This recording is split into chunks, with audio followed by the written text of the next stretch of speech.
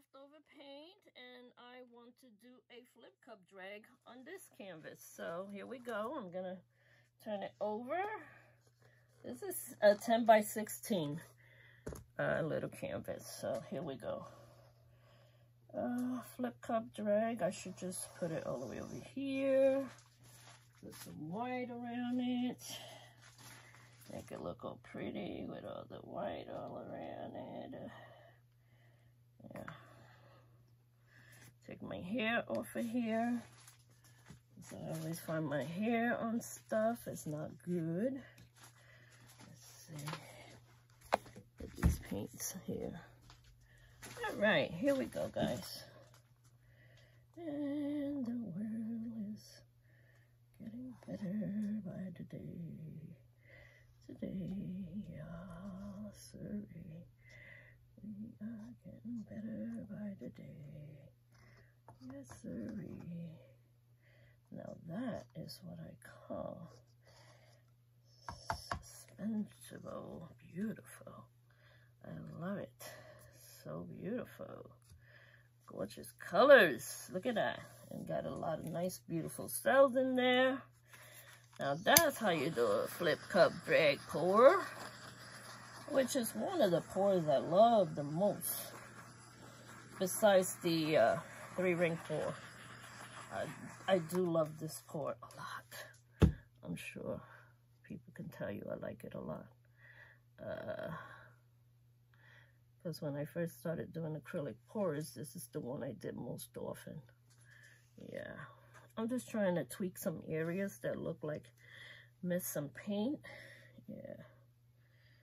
So let's just put it in there. Oh, I lost a lot of paint here. All that I could have used in here. What's wrong with you guys? Ah. Mm.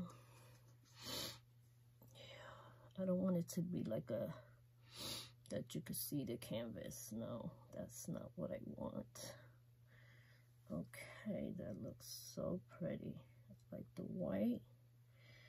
So this was the leftover of the paint I just did a few minutes ago, so you guys know. Yeah, leftover paint is always good. It's always good to reuse it, the paint.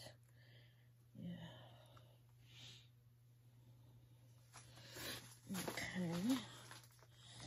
Well, that is it. I'm happy with this. turned out so pretty. Yeah. I'm going to give you a close-up, guys, and then I'm going to let you go.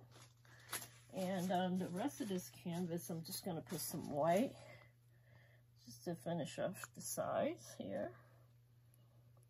Mm -hmm. That's what I should have done first, right? Do all the white first, all around. But uh, it's okay. You can always do it after because it is a board. It's not really a canvas canvas. It's a board. So it's a hardwood board. Mm-hmm. And I love these colors. They are fabulous. Fabulous, beautiful colors together. Yeah.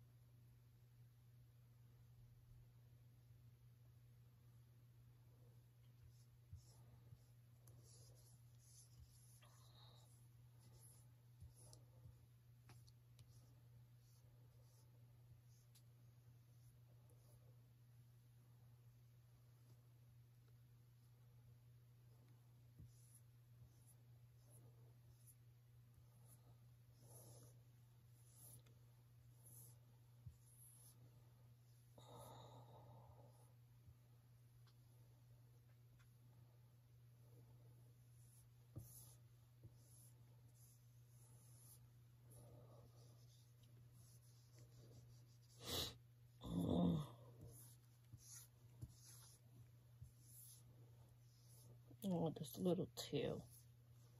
Come on. Just leave it alone. I'm going to leave it alone because otherwise I'm going to keep doing this and end up messing up the paint. So better to just let it dry. And then you could put your last layer of the uh, white on the outside again once it's dry. And then you could either you could either varnish this or you could um, resin it. A nice short canvas. Maybe I'll resin it because I really do love the colors I got in this one. So let me give you guys a close-up. That's it for today. Yeah! Not sure when I'll come in again. I got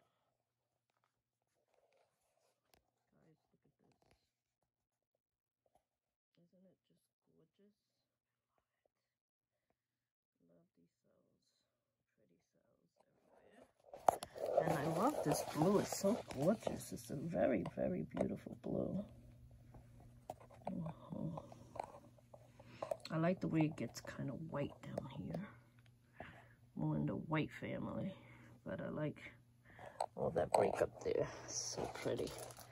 And uh, yeah, I guess that's it, guys. Love you all. Have a wonderful, wonderful rest of the week. Bye.